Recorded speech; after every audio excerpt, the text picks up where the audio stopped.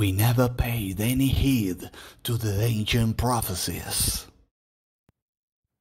We never paid any heed to the ancient prophecies.